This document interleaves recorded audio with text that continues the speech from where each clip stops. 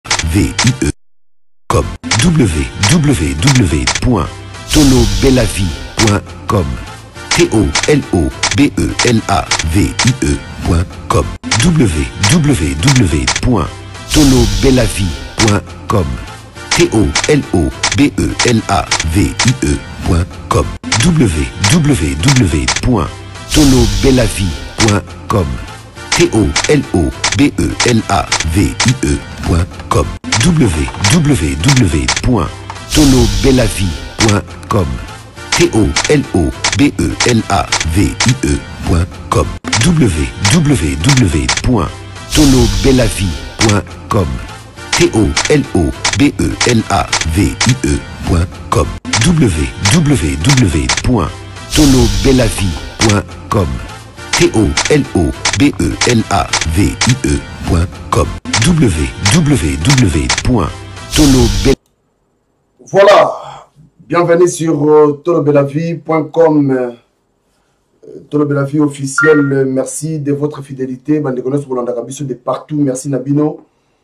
tolobaki toza awa mpo na bino susi na biso numero 00 ezali koinforme bino tolobaka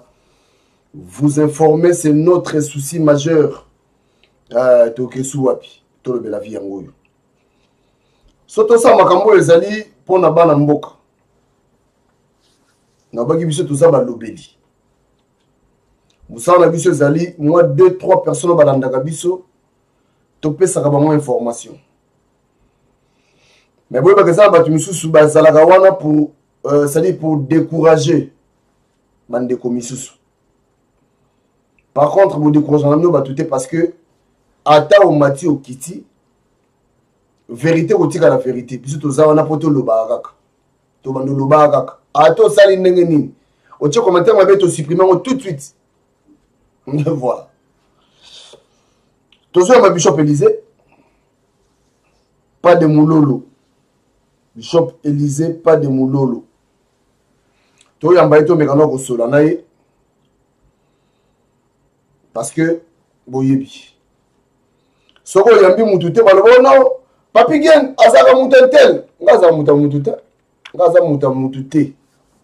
mpo mutu ya mutu mpe aza te naa mutu ya nzambe nzambe mutu asala nga mais naza molobeli ya peuple congolais so parti mosusu bomoni yo papi gene te ngai na kutu kuna te susi na biso ezali topanza information ozwi olobi ozwi olobi c'est comme ça eza te nazwi na gardon mpo na ngai no ngai nasala ngo bishop elise bonsoir bonsoir papi gene molobeli ya mboka lokola ngai sentinelle ya congo Voilà, boni biso Belize, ça va Tozali toujours na kati de Tumba, la lutte continue, la victoire est certaine. Voilà Bishop Elysée, euh, to me consola déjà mwa moke parce que ndenge bato balobaka l'air est grave, l'air est grave donc na mboka na biso c'est que l'air est grave maintenant parce que makambo esama na mboka na biso jusque là tozolinga toyeba yango moni bato misusu omona quelque part omona o oh non ye aza boye ye aza boye ye aza makambo ya kikolabo kutu esi esilaki nango deja mpo bato bazali bakolabo bamonana joseph kabila akei kotala félix tshisekedi babi basolaki makambo moko na kuzu bato bamoni deja foto wana ndenge bayambani maman basola ezalaki nini parce que jusque là nanu babi moyen badevoile yango eza te ezalaki nini oh, nga nayebi yango déjà nga aza afrique na yo na émission na yo tolakisaki garde de corps rapproché ya petit oyo hippolyte kanambe akomi epai ya félix nalakola émission na yo oyo je crois deux semaines passées olakisaki na foto ya mwasi na bana na ye na ndako na ye aza afrique donc euh, hippolyte kanambe soldat ya kadogo oyo hippolyte kanambe akambi visite na otage na ye félix tshilombo kuna na cité de loilia donc euh, asa akotisi ye na kati na pharmaçonnerie ozo comprendre félix tshilombo akoti na kati ya pharmaçonnerie omoni ndenge alobaki na prestation de serment abandi kolia monoko wana akendaki na kingakati ntango awuti euh, na ethiopie nani Hippolyte Kanamba ayebisi en tout cas nazo comprendre oyo te oyo eza makambo mosusu ya niveau mosusu il faut kota bakotisi ye na kati ya pharmaçonnerie donc esengelaki basacrifice mpo amata na premier degré alors sacrifice yango basengaki ye liboso apesa maire na ye ya esikaki une semaine eleki babengisi yake lisusu alors wana oyo anani omonaki bana kini Kongole nyonso ndenge akendaki kotala Felix ayebisaki ata koyebisa ye te asengaki ata osenga audience te bakomi kaka na porte boye batala boye na mercedes wana ye ba mercedes afidela botola parmi ba mercedes ya collection ya mobutu ya kala ça coûte très cher ba mercedes boye afidela ntango akotaki ba mercedes ya mobutu na kati yaki abimeli ye na ko abimeli ye donc euh, bakoti na salon bakota na ye na chambre a deux mwasi na ye louise abeti lisolo bakota na chambre a deux pendant deux heures du temps bango kuna bazolamba bakota chambre a deux pendant deux heures du temps donc aza susu moto oyo ya église philadelphie te ciloko boyebaki kala aza susu ciloko ya lelo te akoti deja na kati na pharmaçonnerie donc babebisi ekobebisa akoti na société pedo satanique donc Hippolyte Kanambe abebisi Tshilombo ya kobebisa donc bino ba oyo bokendaki Kinshasa wana okombata okouta soki wapi boyeba ke bakosakrifie bino mpo ye basengi ye asakrifie liboso mare na ye aesite yango moni akobelaki ye abimeli ye agangeli ye tala bafoto wana aza na kanda ya kosakana te ozomona wana un ya mibale ntango discours oyo félix asalaki devant les ambassadeurs ezalaka na bapays nyonso c'est le directeur du cabinet nde aredijaka discours mais président apesaka baligne bagrande ligne directeur du cabinet asali discours mais discours wana eutaki epai ya cheo kitundu ministre sortant ya affaires étrangères akomaki na kati ya discours wana President Kabila ayebisaki ye ke euh, Felix asenga leve ya bamesure oyo Union européenne na États-Unis ezwaki contre bacolaborateur ya Hippolyte Kanambe basanguinaire baterroriste lokola Hippolyte Kanambe babushabo ba Emmanuel Shadari baza ebele na bagénéral bagénéraux mosusu bapesaki euh, ba papier wana ya discours epa Felix pesa bino non non non bolongola yango babi ok tokolongola mais entre temps bango bakei balongoli te mpe bana bana Congo bozolanda ngai na tolobela vie tozolobela vie ya Congo soki président ozala discours na Nations Unies ou partout baambassadeur bazalaka na kopi bakopi wana balongolaki mpe parti wana lide ya leve ya basanction contre les sanguinaires terroristes ya la Kabylie Hippolyte Kanambe ayebisi bango alobi nini bolongola bolongola te abengi Kamere Hippolyte Kanambe agangeli Kamere Shehu Kitundu tya yango mpo yo mpo oza na kati na liste ntango petit Felix abandi kotanga discours wana devant les ambassadeurs atala mpo balongolaki te alobi yango balongola leve ya, ya sanction ya bato oyo basala bacrime de guerre bakabili bacrime contre l'humanité bagénocide ntango asilisi asilikeli kamere asilikeli na jour kituni wana yali deuxième raison oyo ayaki kotala petit aya kotala félix tshilombo alobi asilikeli bino e eh. alors abimeli ye mpo na makambo ya liboso nde akoti na farmasonnerie ya mibale ayebisi eke oyebi bien ke tosala kor nga na yo otyaka na kashite nga na yo nga moto na tyo président moto abimaki eza martin faulu ya mibale oyo oh, deuxième ezalaki jadin yo obimi na obimaki troisième ndambu na yo président soki namona olingi kosantete na koyebisa cour constitutionnel likambo ya diplôme na yo balongola yo président ozala destitue mwana mai alengi ya kosakana te asengi bapardon afukama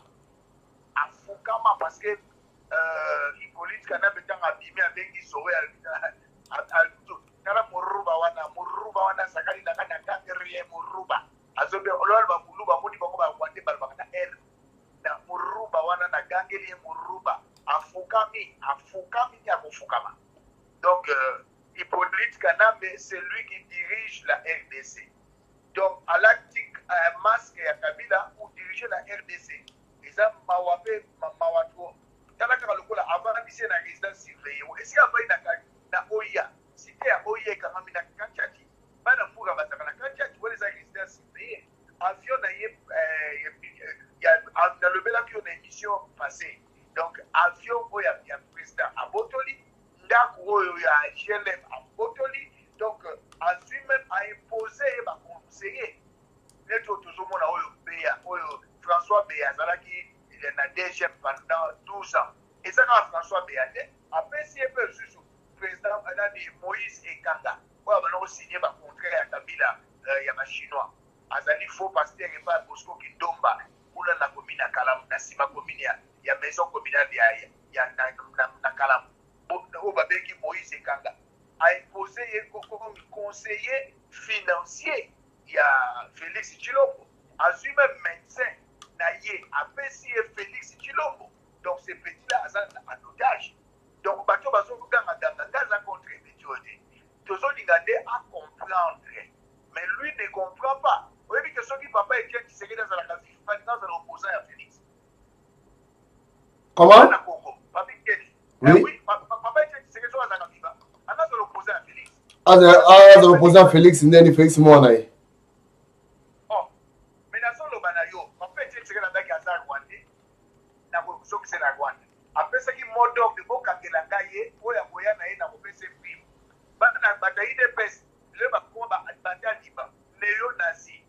Nakobenga bango ba neo-nazi. Balobaki nini? Tozongisa ye na Rwanda. Bozongisa ye na Rwanda. Mais lelo mutu wana bobi bozongisa na Rwanda. Bokomi kobetele maboko. Boyini Martin Fayulu. Boyini Moïse Katumbi Chapwe. Boyini Jean-Pierre Bemba Kombo. Bozini mobomi. Bokomi kokumisa ye. Eza mawa. Papa Etienne Tshisekedi soki azalaka vivant, alingi azala opposant ya ya Felix Tshilombo. Alingi ozala opposant na ye. Mpe nalingi nayebisa nani oyo babengi Peterson Kazadi, na yo Jean-Marc Ambuzi, na Augustin Kabuya, na yo Felix Tshilombo, bokeba na president Jean-Pierre Bemba, bokeba na Moïse Katumbi Chapwe, bazokipe bino te. Moto lokola Peter Kazadi aleki azoloba ke Medi akozala president te. Ba propos wana ya ba racisme toboyi. soki nga na exemple congolais moko abali belge mwana wana abimi medi mais c'était c'était congolais alors papa jano mpe baza congolais oyo atika biso mpe ya sona jean pierre mpe bakongo aza congolais moïse katumbi bichako aza congolais constitution ya mboka na biso balobi nani aza congolais on est congolais par le sang on est congolais par le sol jean pierre bemba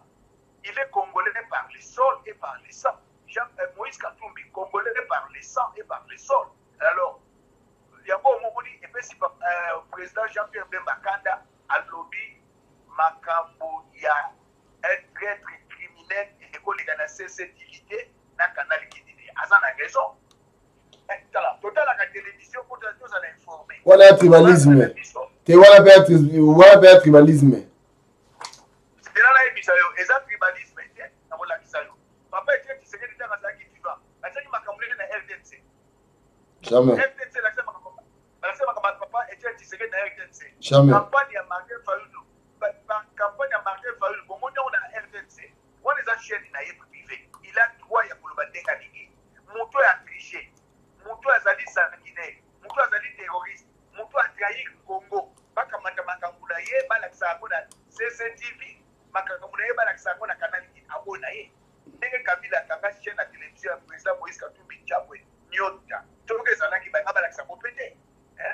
ntango président moïse katumbi azalaki kosala business na ye jean pierre mpe bazogere biloko ya papa na ye na asala mpe business na ye petio azalaki na bruxelles na mambo komelaka bamasanga kosendikaka bamomi ayebaki eloko te aza aza na experience moko te un chômeur à 55 ans otia na tête du pays ozomona babiloko wana ezali mpasi mpe nakoyebisa bana congo na minute oyo nazoloba epai ya papi keni esika bino bozwaka bainformation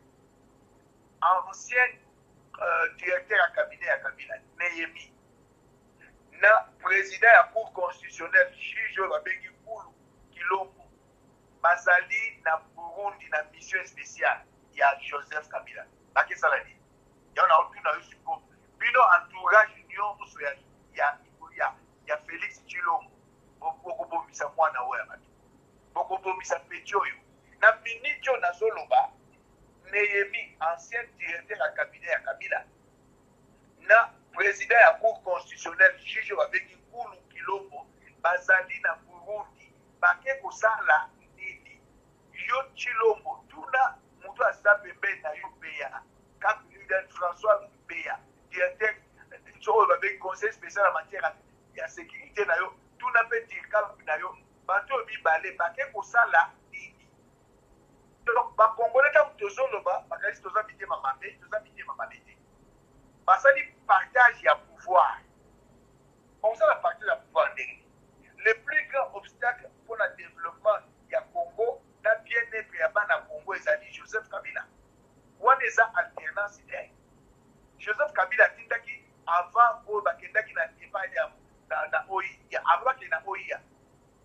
batindaki Joe Kitundu, batindaki Ruberwa. Ruberwa aza nani? Eh? bakei kosarrange mpo abima Deuxième vice president banda akomi a prete serment le 24 janvier lelo toza le 4e gouvernement ebimi te yango nazo lance défi na félix tshilo si tu as le levier du pouvoir nommé chef d'état major ya sika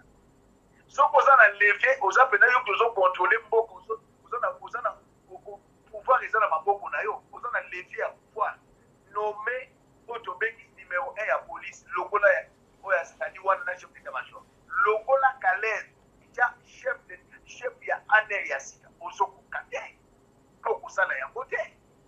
na accord basali bana congo ozolanda biso na tolobela vie bayokani na baprésident mine misato bandimi président ya kenya président ya egypte President ya Tanzanie ba parrainer accord diabolique satanique ya partage ya pouvoir ya Kabila na oyo babengi Felix Tshilombo le traitre national yango nga mpe nakoyebi so papi ndenge nazoleka epa na yo kosalaka Tshilombo te eh, kosalaka Tshilombo te ebi soko oyebi expression ebimi na Kisasa yango elakisa nini yango elakisa nini ne pas me trahir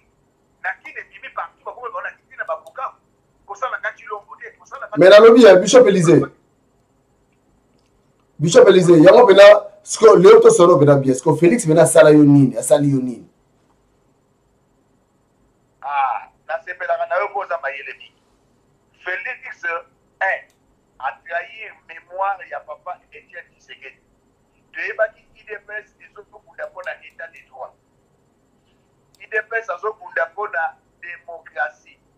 félix asali alliance contre nature na moto ya boma etienne tshisekedi yango nga mpe nazosenga na félix na congolais basala teste ya adn ya félix mpo toyeba soki réellement azali mwana babanga etienne tshisekedi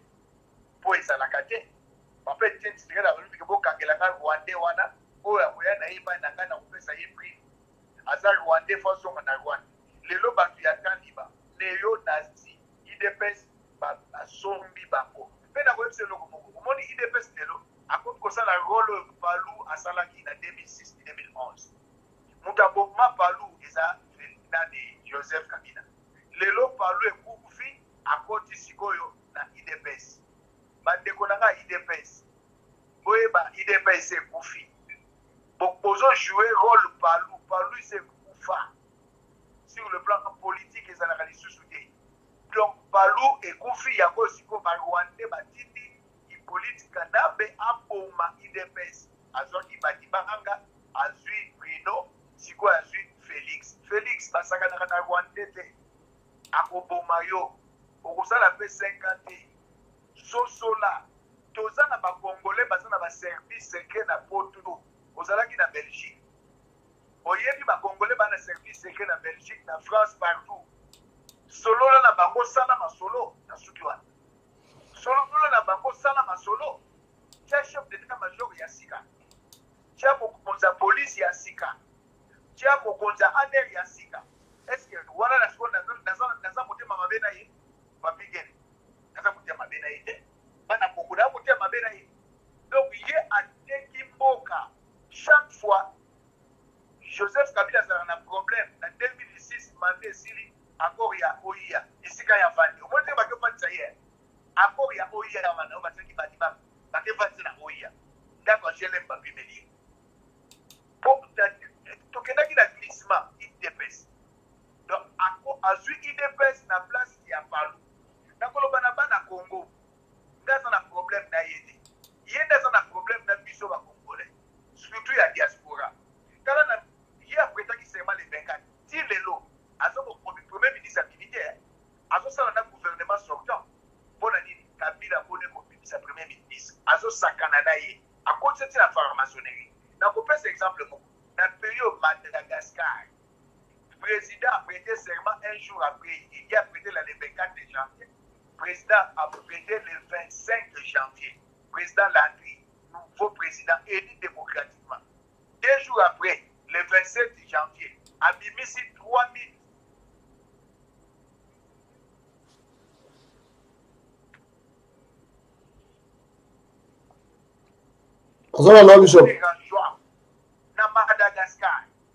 abimisi 3500 prisonniers après deux jours ya ma président serment na minute oyo premier ministre azali basali gouvernement mais yo tokomi na troisième semaine semaine prochaine tokokokisa un mois ozo kokobimisa gouvernement te mpo na nini kabila abona ye kobimisa premier ministre azosakana sakana na ye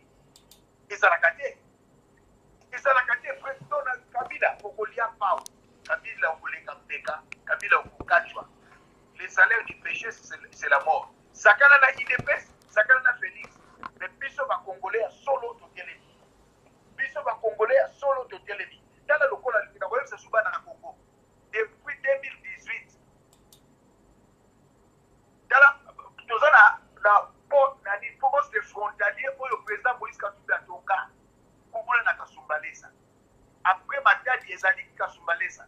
ezali ezo de poste frontalier wana ezali ko dépendre na gouvernement provincial bapesi yango na direction générale des douanes et assises comment ye mpe sikoyo douane et assises aconcédé yango na compagnie moko pri- privée Tria Jiko pour société wana komi ko gérer port ya plutôt poste de frontalier à Kasubalesa. Société wana eza nani ya Jeannette Kabila. Donc na minute toyo Jeannette Kabila azali ko gérer pour nini poste de frontalier à Kasubalesa. Au bino ba Rwandais bokomi si Congo ya bino péage ya Lubumbashi pour kende na oyo tobengi Kasubalesa moto azofutisa peage nzube yango na koyebisa bino taliban ba neonazi boyebisa oyo bozobenga président président soki naza nommé boyebisa ye atala makambo wana na kinshasa vie ekomi chere na mbuji mai vie ekomi chere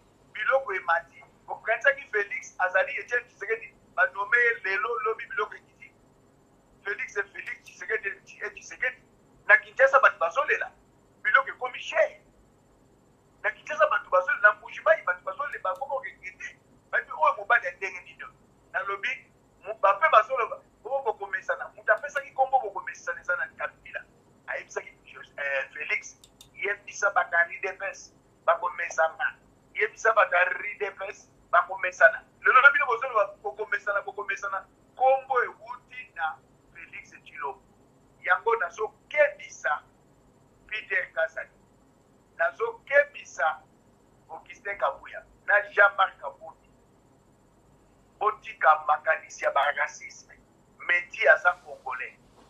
Bokosakana na president Jean-Pierre Bemba te, bokosakana na president Moïse Katumbi te. Bandeko na ngai ya generation Jean-Pierre Bemba akomeli bino na ba réseaux sociaux na nzela ya president na bango Jean Robert, Jean Robert Bopenda aza na Nouvelle-Zélande bakomeli bino. Nga mpe bouche autorisée ya president Moïse Katumbi nakebisi bino bana Congo na ndeko na ngai mwana mboka Papi Geni anniversaire ya idps euti koleka awa kabund aosala interim ya président ya idps atelemi asali discours atangi ata nkombo ya etienne tshisekedi te alobi ata mokolo nini corps na ye kozonga te ake afandi na kiti bayebisi ye obosani koloba likambo ya corps ya papa atelemi lisusu azongi alobi eza automatique me nakoyebiso kabundi boye Tala tala respect ya memoire ya Etienne Tshisekedi oya koloba ntango yo osala discours mpo na anniversaire ya, ya, ya IDPS il, il, il fallait oloba une minute de silence à la deuxième anniversaire ya, ya liwa papa Etienne Tshisekedi olobi yango te na bandoto na bino Joseph Kabila na makanisi na bino Joseph Kabila bobosani bamasakre esalami na ya Congo bobosani ba massacre esalama na Kinshasa atumba siège na bino si militaire bakufa basi batikala ba veuve babana batikala ba orphelin bobosana liwa ya petit na biso Rosi Armand Ngulu général Mbunza mabe colonel Mabalu bobosana ba massacre nyonso un criminel Hippolyte Kanambe asali l'ami de ton ami c'est ton ami c'est ton ami Donc neti Hypolite Kanambe azali criminel sanguinaire terroriste yo okomi ami na ye Felix oza pe terroriste okomi criminel boza ata na soni te boza ata na soni te olobaki petit na ngai Tshilombo okokitisa ba prix ya passeport okitise po okitise po na nini po ba passeport ya Congo basalaka yango na Rwanda otala na kati ya passeport bakomi Minafet ministère ya affaires étrangères ya Rwanda zola alobi bapasseport ekokita te aboyi oyo sonance mwasi oyo azokamba na sonance azali moto oyo zoe atya ye place wana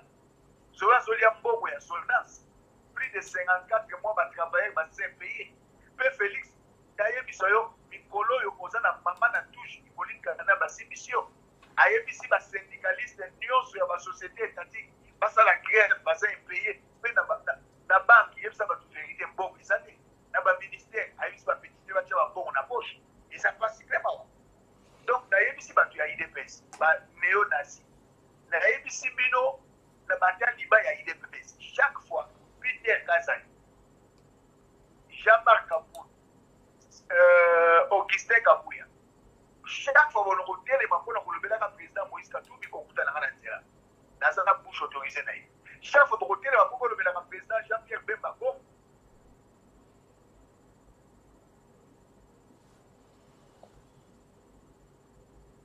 bolimbisa mwa moke toza en direct oya bishop elise tosilisa amoni bato bamoni kokota kota bamoni kobengabengabenga deja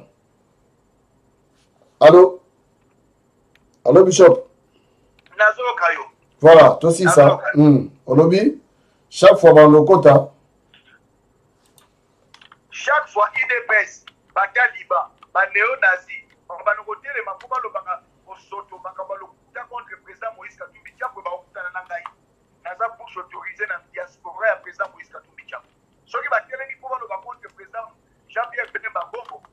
bakokutana na Jean Robert Bobeta oyo azali president ya Generation Jean Pierre Bemba na Nouvelle Zelande. Bakosaka na Jean Pierre Bemba te. Jean Pierre Bemba atanga, president Moïse Katumbi atanga, basimba ba misolo liboso ya, ya, ya, ya petit oyo Felix.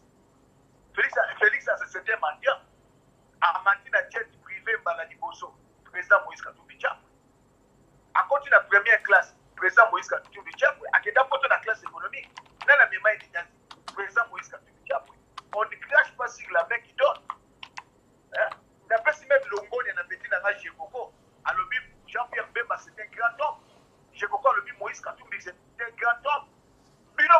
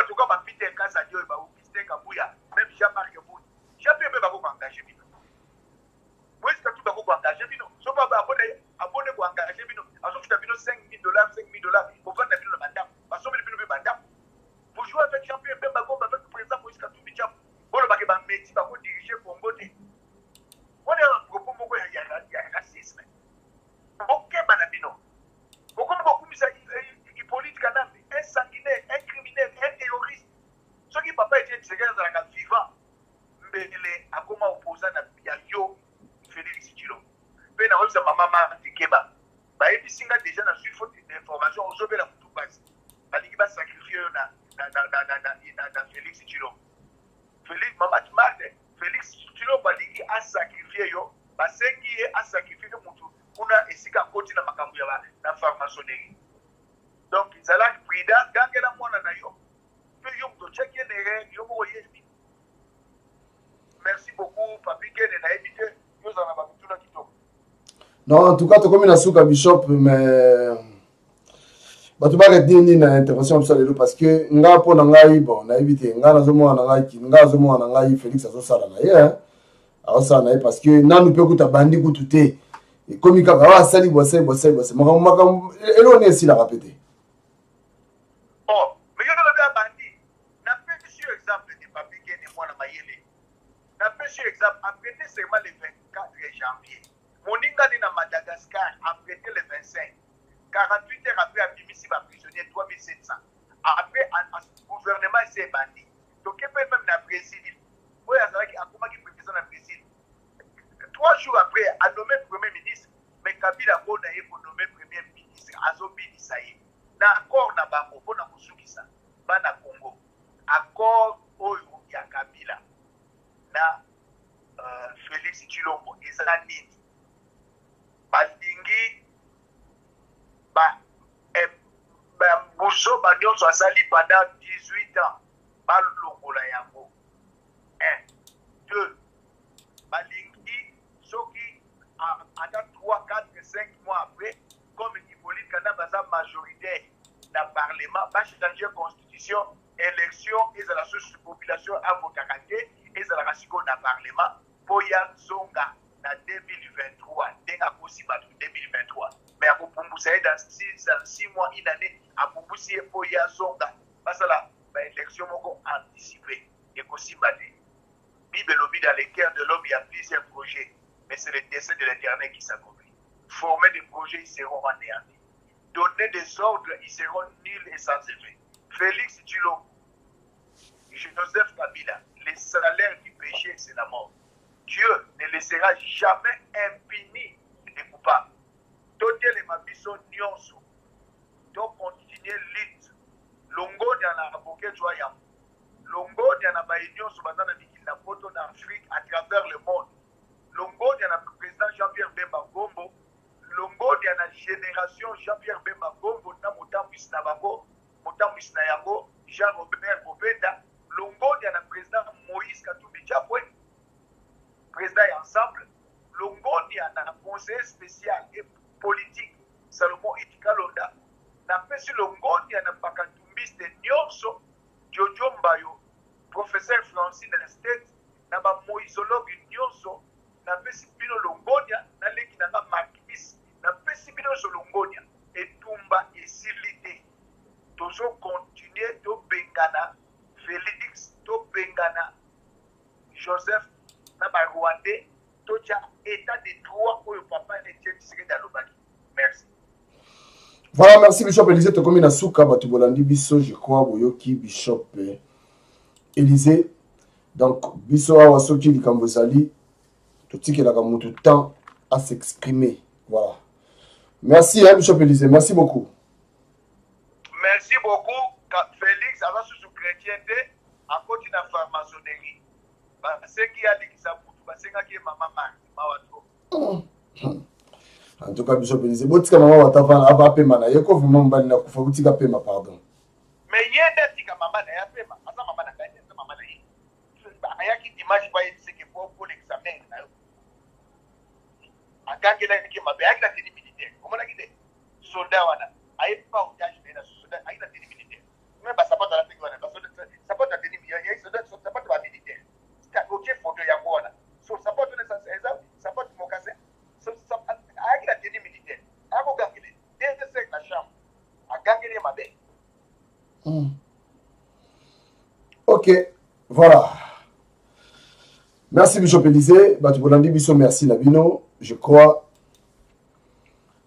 tokoyamba lisusu bishop elise oyo nyonso aza na besoin toyamba ye la porte est ouverte pour tout le monde